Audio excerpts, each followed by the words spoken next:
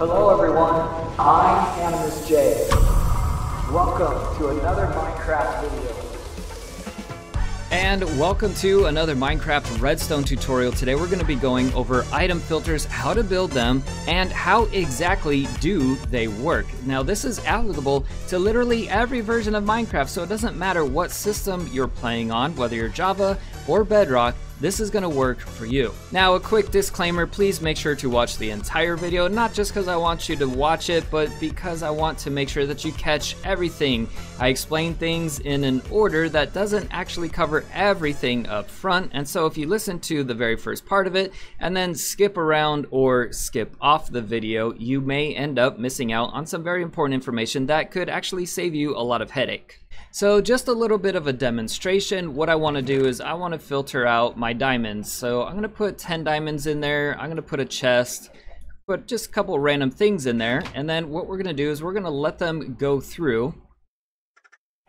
And then here in the end, you can see all of the non-diamonds ended up, whereas boom, there's my 10 diamonds. Okay, so before we explain how it works, let's look at how to build it. Number one, you do not need a redstone lamp. That was my attempt to help show you guys how it worked, but because of redstone and, well, me forgetting how redstone works momentarily, it didn't work out the way that I wanted it to. So in building this, and I'll admit, I forget frequently how to build this, so I had to remember this basic shape, okay? So what you want is you want to build a T. This T will get you started. On top of your T, you're going to put a comparator with two redstone, and in the armpit of your T, underneath your comparator, you're going to put a redstone torch. Now then, the last two things you need to do is underneath the other armpit of your T is going to be a repeater, and then behind that, you're going to have another block, and you're just going to put another spot of redstone. So ideally, what you want is remember that your comparator is going to measure your hopper, and then it's going to come down here, and tell the repeater when to turn off your torch in order to let things pass through. So first of all, in regards to the hoppers, you need to have one hopper facing into your comparator. It can be facing away from the comparator, it's just generally easier to face it into it. And then the hopper below that, that is even with the block that you're locking out with your redstone torch, that one is going to be pointing into your chest. Now you can stack chests like this and then stack your hoppers below as well. That's completely optional. If you need to know more about how hoppers work, I have an entire video explaining how they work, what they do, and how they do it. Now then, you don't really want to be clicking on this hopper in order to add things into it, so there's two different ways you can handle that. One, you can have a straight line of hoppers that passes over your filter hopper, which is the one pointing into the comparator, or you can do an item stream sort of situation, which I have a video about over here. So you can see right here I have an item stream and where the end chest and cake is at, I have hoppers underneath. And what happens is if I throw the proper item into my item stream, it'll get absorbed by the appropriate hopper right here. So you would want to use that or otherwise just a chain of hoppers like I have right here in order to filter out your items. Now once you've decided how you're going to get your items through, what you need to do is go into your filter hopper, that's the one pointing into your comparator, and you want to put an item that will never go through your system in the last four slots. I've used raw pork chops, but I'm going to show you why even that is a bad idea in general. And then in the very first slot, you're going to put 41 items of whatever it is that you want this exact row right here, or column rather, to filter out and go into your chest. Now you can see with the 41 items in the hopper, we're creating a signal strength of 2 on the redstone. What will happen when we go up to 42 it's going to increase this redstone signal down to here. So I've broken the other parts of this so that I can show you guys how it's going to look. And here we go. We have it increased down to 3. Now notice it did increase over here as well, but it cannot increase to 3 because it will never get large enough to travel over and then down as well.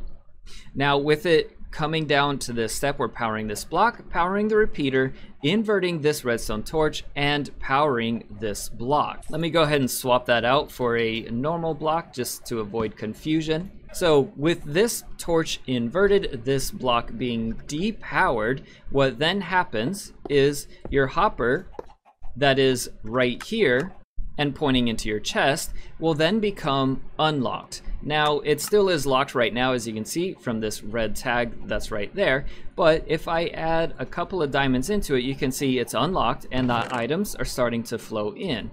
So what happens is when this gets over 41, then the redstone inverts that torch, allowing the bottom hopper to be able to receive items until it gets down to 41, and then it turns off again, as you can see now.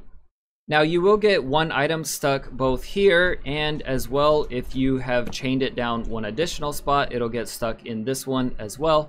And that is because of the way that the locking is. It'll just always have one stuck in it. Not really anything we can do about that. So then in regards to my pork chop, let's say that a couple of pork chop do accidentally make it into my system.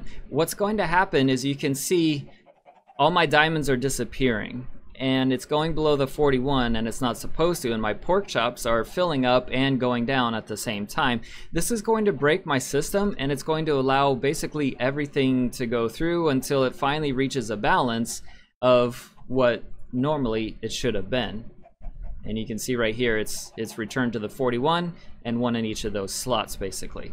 So then the reason you don't want that obviously is because now when I put diamonds through my diamonds are going to end up over here in the junk chest and not in here where my now pork chop is being filtered to.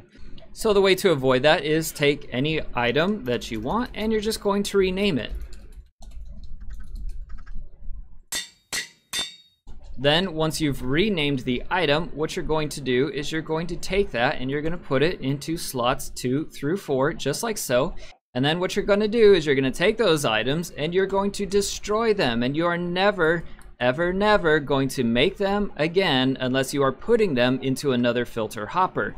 Passing them into your system is of course going to break it. So that's why it's important to not have any of them so they don't accidentally end up in your system. So lastly, you can of course make this go on for as many blocks as you want. There is no limit to it. It will work on an infinitely expandable basis. The only limitation is, of course, if you get outside of the chunk loading area. If you're outside the chunk loading area, then, you know, obviously it's not gonna work. So that's it for this tutorial. I hope that it helped you guys out. If it did, make sure to hit that like button. And if you haven't already, I would love to have you subscribe. But that's it for today, guys. I'm Animus J. I'll see you next time.